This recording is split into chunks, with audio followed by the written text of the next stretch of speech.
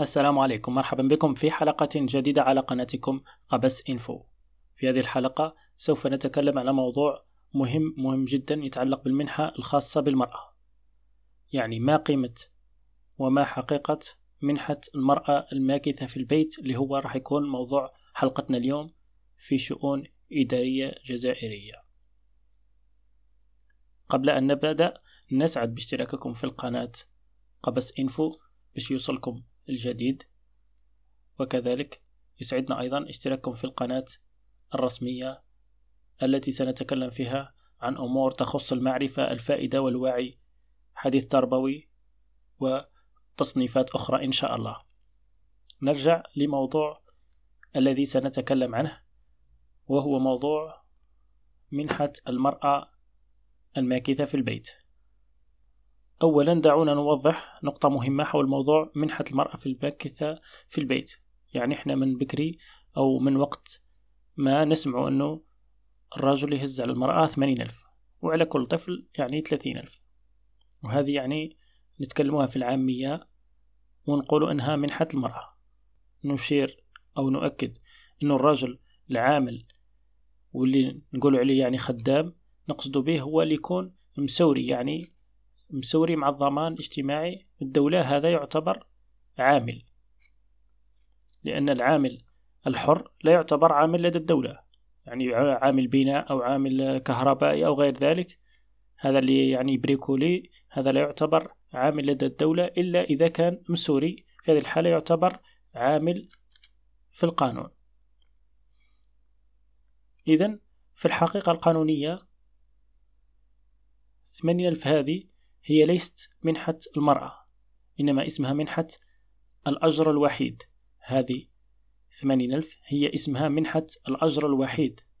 القانون وش يقول؟ يقول أنه الرجل العامل يهز ثمانين ألف على المرأة يعني لما تكونش تخدم. وهو يكون عامل في هذه الحالة هو يهز ثمانين ألف. أما إذا كانت هي عاملة فما يخلصش عليها ثمانين ألف يعني ما يمدلوش ثمانين ألف باعتبار أنها هي عاملة. نشير إلى معلومة مهمة والكثير ما يعرفوهاش ونقصد بها الموظفات يعني العاملات. واللي مسورية مع الدولة يعني هذه كثير منهم ما يعرفوش هذه المعلومة أنه الرجل الغير العامل وكما قلنا قبل أنه الرجل غير عامل يعني ماهوش مسوري عامل بناء كهربائي. المرأة هي الوحيدة العاملة في هذه العائلة. قانونا أن المرأة تدي ثمانين ألف. تدي على الرجل لأنه غير عامل.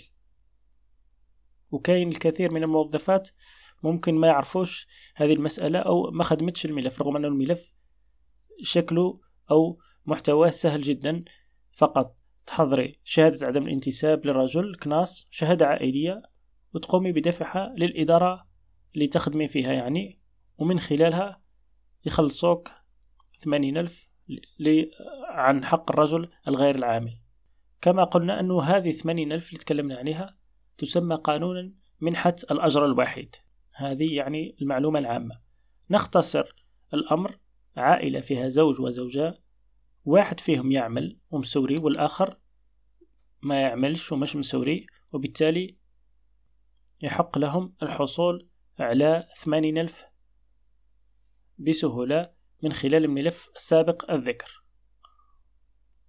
إحنا موضوع الحلقة هذه تكلمنا عليه لأنه تم تداول مؤخرا أن منحة المرأة الماكثة بالبيت هو عن ثمانين ألف لكن هو لا علاقة له بثمانين ألف. يعني هذا يسمى منحة الأجر الوحيد وليست منحة المرأة الماكثة في البيت.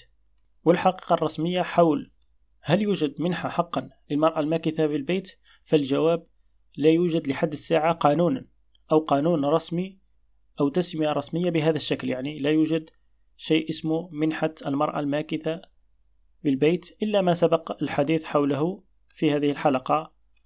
نتمنى تكون الحلقة قدمت تفصيل مهم وتفاصيل يعني أمور أساسية. نلتقي إن شاء الله في فيديو قادم إن شاء الله. لا تنسوا الاشتراك في القناة باش تجيكم جديد الأخبار والمعلومات حول موضوع الأجور والمنح. إن شاء الله نلتقي بخير. السلام عليكم.